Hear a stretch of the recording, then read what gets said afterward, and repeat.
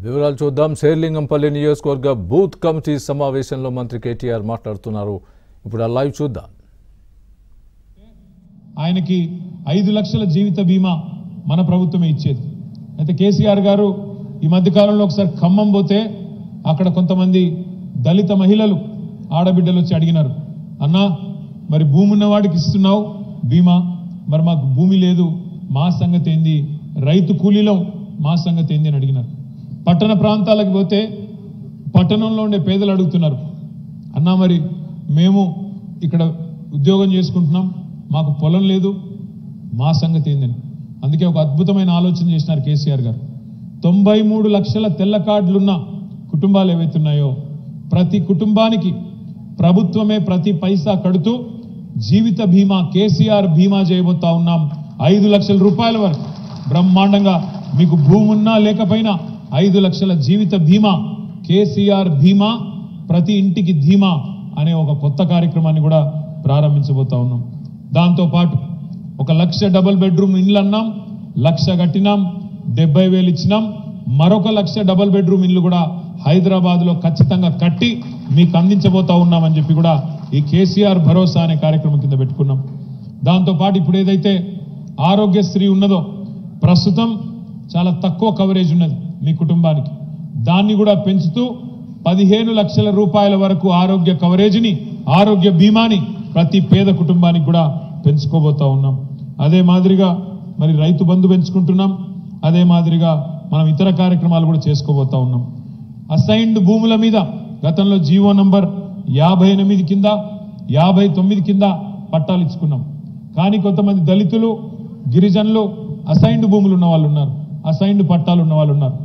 వాళ్ళ కోసం కూడా మీ భూమి మీద మీకే సంపూర్ణమైన యాజమాన్య హక్కులు కల్పిస్తూ అంటే మీరు కావాలంటే ఆ భూమిని అమ్ముకోవచ్చు లేదా తనఖా పెట్టుకోవచ్చు లేదా మరి మీరు మీ పిల్లలకి ఇచ్చుకునే విధంగా చాలా చక్కగా ఒక కొత్త పాలసీ కూడా తీసుకొని వస్తూ ఉన్నాం.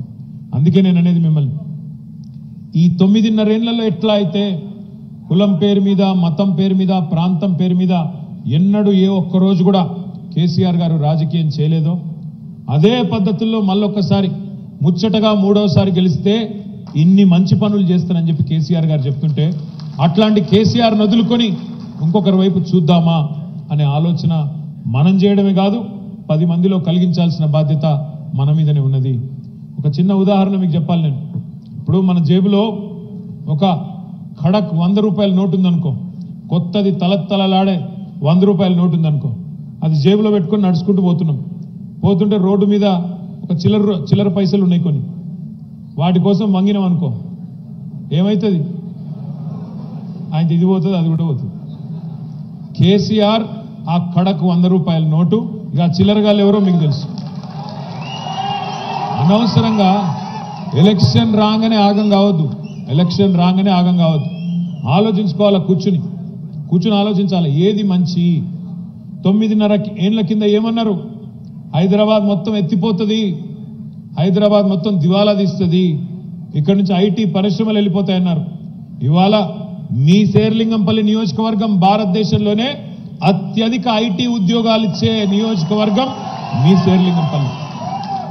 వాళ్ళ శేర్లింగంపల్లిలో వచ్చిన ఐటీ కంపెనీలు బెంగళూరులో కూడా రావడం లేదు. ఇది వాస్తవం అనే మాట నేను మీకు విజ్ఞప్తి చేస్తా ఉన్నా. అయితే మీరు అడగొచ్చు అన్నా మరి ఐటీ ఉద్యోగం వస్తే నాకేం వచ్చిందన్నా? అని మీరు అడగచ్చు.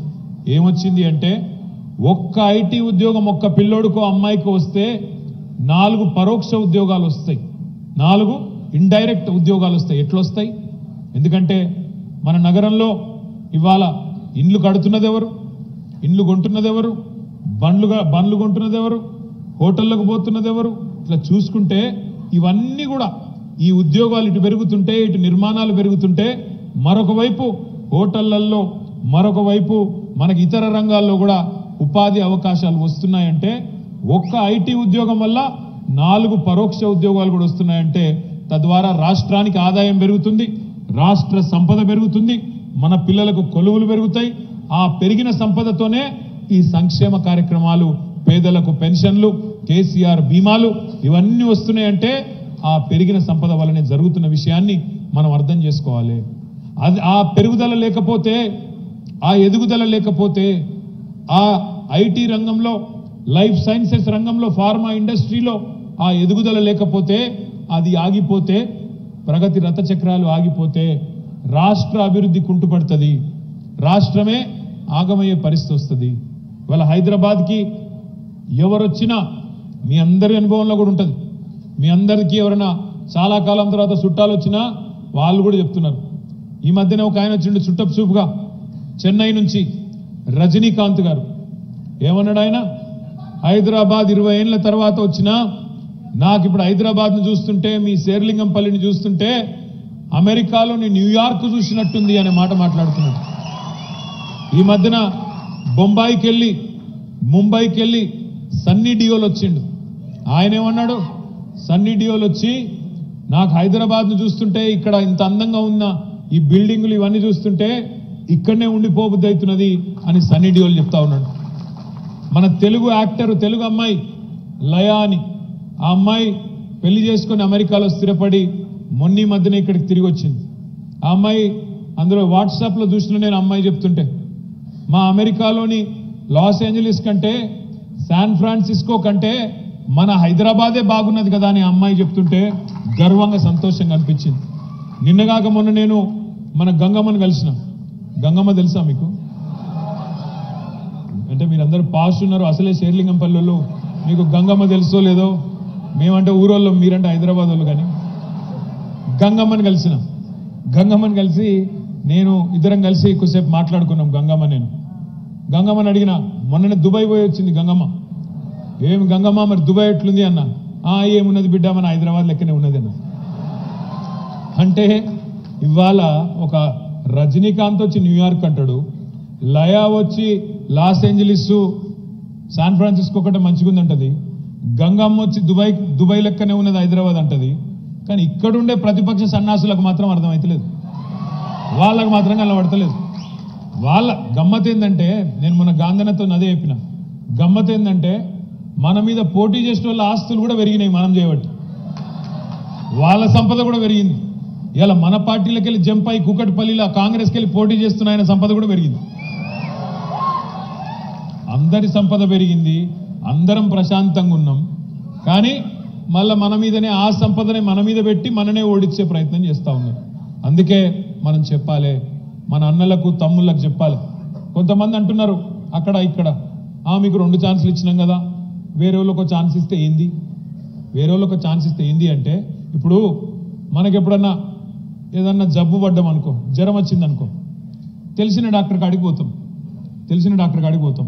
ఒకసారి జ్వరం వచ్చిన ఆయన కాడికి పోతాం రెండోసారి జ్వరం వచ్చిన ఆయన కాడికే పోతాం. ఎందుకంటే హస్తవాసి బాగుంటే ఆ డాక్టర్ మందులు ఇస్తే రోగం నయమైతే ఆడికే పోతాం. మూడోసారి జ్వరం వచ్చింది అనుకో ఏ ఊకే ఆయన దగ్గరికి ఎందుకు ఇంకో దగ్గరికి పోతామా? మంచి డాక్టర్ ఉండగా ఇంకో డాక్టర్ ఎందుకు? ఇంత మంచిగా బ్రహ్మాండంగా ఆయన ఇచ్చే మందులన్నీ కూడా మన రోగాలను నయం చేస్తుంటే కొత్త డాక్టర్ దగ్గర పోయి ఎందుకు మనం పిచ్చి పనులు చేయాలా? కూర్చున్న కొమ్మని నరుక్కునే మూర్ఖులు కొంతమంది ఉంటారు. కూర్చున్న చెట్టునే నరుక్కునే మూర్ఖులు కొంతమంది ఉంటారు. ఇవాళ ఇంత చక్కగా ఉన్న హైదరాబాదులో కొంతమందికి కొన్ని విషయాలు అర్థం కావట్లేదు. కరెంటు మంచిగా అయింది. మంచినీళ్ళ సౌలత్ మంచిగా అయింది. మన పార్కులు మన చెరువులు మంచిగా అవుతున్నాయి. మీ దుర్గం చెరువు మల్కం చెరువు మీ అంబీర్ చెరువు ఒక్కొక్కటిగా ఒక్కొక్కటిగా అన్ని మంచిగా చేసుకుంటూ వస్తున్నాం. ఇక పిండి కొద్ది రొట్టె. ఎట్లెట్లు వెళ్తే అట్లా చేసుకుంటూ వస్తున్నాం మెల్లమెల్లగా. అదేవిధంగా మీ రోడ్లు బాగా అవుతున్నాయి.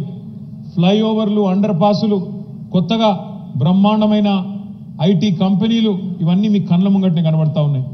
కానీ కొంతమంది కొన్ని పిచ్చి పిచ్చి ఆలనలు వస్తూ ఉన్నాయి. ఎన్ని రోజులు వీళ్ళనే చూస్తాం. మీకు గాంధీ గారు పాత పడిపోయిండు కేటీఆర్ పాత పడిపోయిండు కేసీఆర్ పాత పడిపోయిండు. కొత్తగా ఏమైనా చూద్దామా అనుకుంటున్నాను ఎందుకంటే ఈ దేశంలో కొత్త ఒక వింత పాత ఒక రోత. అక్కడేందో ఉన్నది అనుకొని పోతే ఏమవుతుందో కూడా మీకు చెప్పాలి. ఇప్పటిదాకా చేసింది చెప్పాలి ఇప్పటిదాకా చేసింది ఇగో ఇది మా అభివృద్ధి నివేదిక అని చెప్పాలి. రేపేం చేస్తారు మీరు అంటే అది చెప్పాలి. మనం రాకపోతే ఏమవుతుందో కూడా చెప్పాలి. ఏం చెప్పాలి? మనం రాకపోతే ఏమవుతుంది అంటే ఇవాళ మీరు చూస్తున్నారు మన మీద పోటీకి ఇక్కడ నాయకులు సరిపోవడం లేదు. ఇక్కడ ఉండే నాయకులు ఇక్కడ కాంగ్రెస్ పార్టీ నాయకులు బీజేపీ నాయకులు వాళ్ళ వల్ల అయితలేదు కేసీఆర్ గారిని తట్టుకోవడం. అందుకే కేసీఆర్ గారి మీద దాడి కోసం ఇవాళ దేశంలో ఉండే పెద్ద